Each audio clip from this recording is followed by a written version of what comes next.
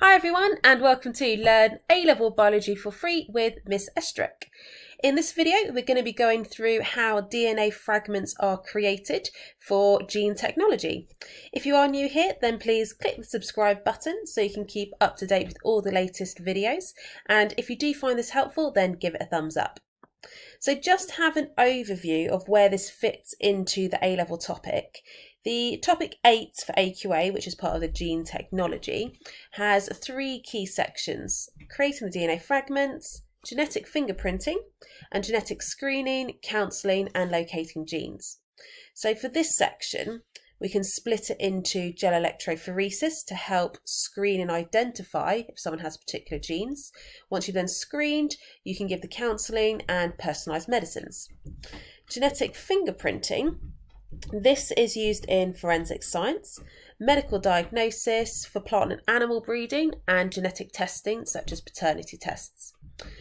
Now, what we're focusing on today is the creating DNA fragments, and that is three mechanisms the gene machine, reverse transcriptase, and restriction endonucleases.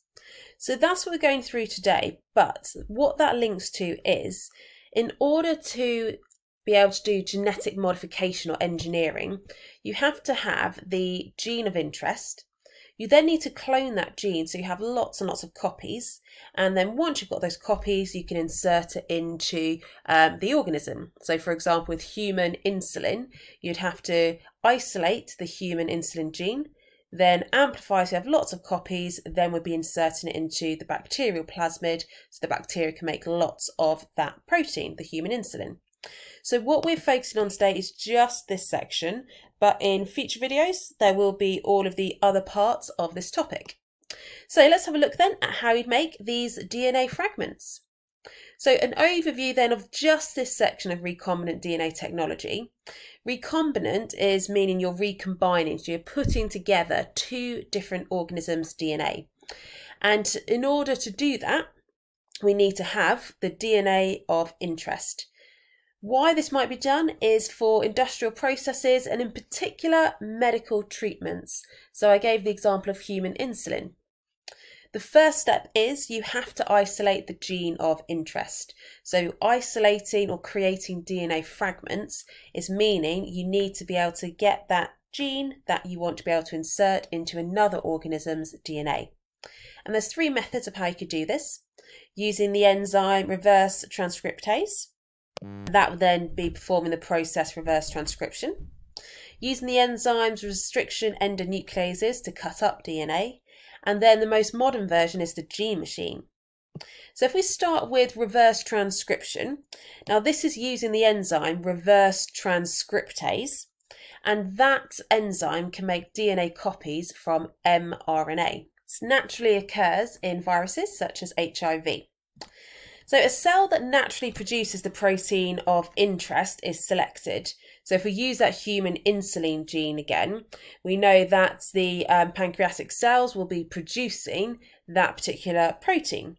So you would be taking one of the cells, and we know that these cells must make large amounts of the mRNA for that protein, seeing as you have lots of the protein in those cells.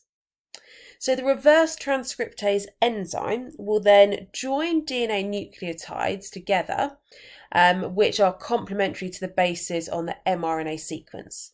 So it'd be using, we'd have to extract the mRNA from this cell. Then we can have free DNA nucleotides. They'll align to their complementary bases on the mRNA sequence.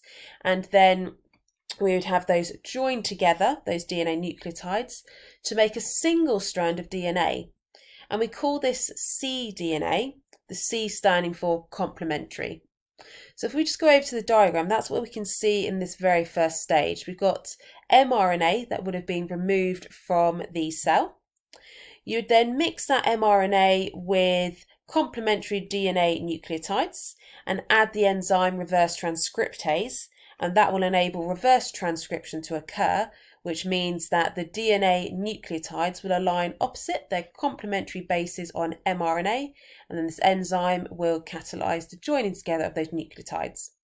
Now, at this stage, that's just single stranded. If you do need it to be double stranded, you would then add more DNA nucleotides and the enzyme DNA polymerase to join together those nucleotides to make a second chain.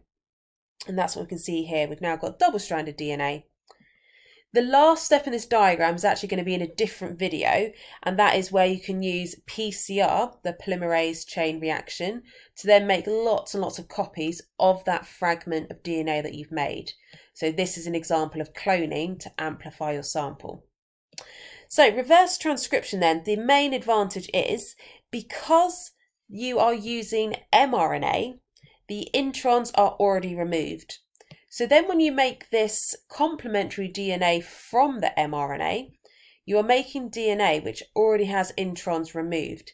And that's incredibly important if you are doing genetic engineering involving prokaryotic cells like bacteria, because prokaryotic cells do not have the ability to remove introns.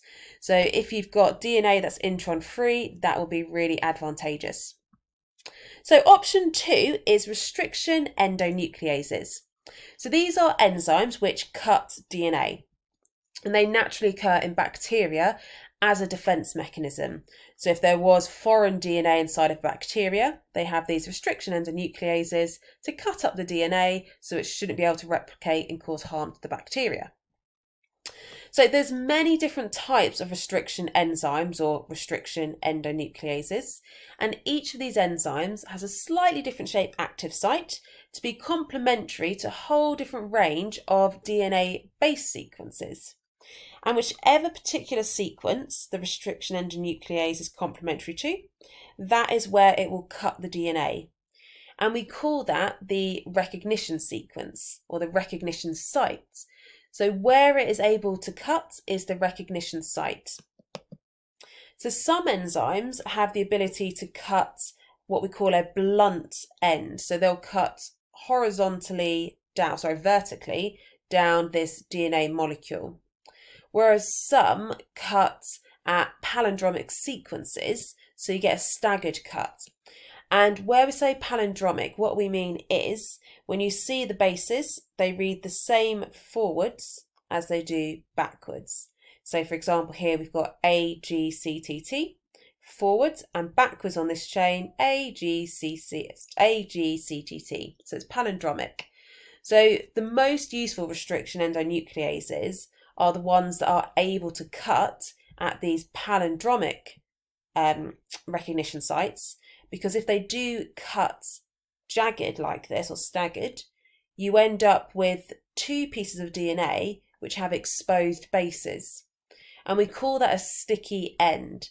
And that's because these exposed bases can now be aligned next to exposed bases for of the organism for which you want to insert it into. So it makes it easier to join the DNA when you're adding it into the next sample. So lastly, the gene machine. So this is the most modern method and this is done in the lab using a computerized machine. So what the scientists would have to do is whichever protein they want to make, they would have to examine it first of all to identify what the amino acid sequence is in the primary structure of the protein. And then using that amino acid sequence, They'll then have to work out what the mRNA sequence is that coded for those amino acids, and from that they can then work out the DNA sequence. So there is a bit of work to do before you can start on this process, but once they have that information, it's incredibly quick, automated, and easy. So once you have that information, you then type in the DNA sequence into the computer it will then check that the sequence you're putting in isn't going to make a protein, which could be a um, hazard to human safety. So they're making sure you're not going to make some protein that could be potentially really harmful. Once they've checked and it is safe and ethical to produce, then the computer can create small sections of overlapping single strands of DNA nucleotides. And we call these oligonucleotides. Now, wherever you see the word or phrase oligo in front of something, that does mean a really small section. So oligonucleotides are small sections of nucleotides joined together. So once you've got lots of small sections or oligonucleotides, those can then all be stuck together and joined up to create the entire fragment of DNA for the gene. Then that creates one copy. If you want to make lots of copies, you'd use the polymerase chain reaction to then create lots and lots of copies of that gene. So it's once you've done this first stage of identifying the DNA sequence, then it's very quick, it's very accurate because you are designing and entering the exact sequence you want. You can design it so it's intron free. You can design it so it has sticky ends. So it's a really, really useful new technology, the Gene Machine. So, just in summary, then, to look at how um, these link together in terms of pros and cons. Reverse transcriptase is the enzyme that would be used for reverse transcription. Main advantage is we said you'd need to use a cell which creates the protein naturally. Um, and if you do that, there'll be lots of mRNA present in that cell. So you have lots of copies of mRNA to be able to make lots of copies of the complementary DNA, which will be your DNA fragment. Disadvantage though is it does have more steps than the other two, so it can be more time consuming and technically it's more difficult as well. Restriction endonuclease, these are useful because you can select the enzymes that will cut at palindromic recognition sites to give you these staggered cuts or these sticky ends. And that then makes it easier to insert in the DNA fragment when you are creating your recombinant DNA. Downside of this method though is because you are cutting the original DNA, it will still contain introns. And if you're inserting your DNA fragment into a bacterium, that would be an issue. So you'd then have to have an extra step to remove those introns.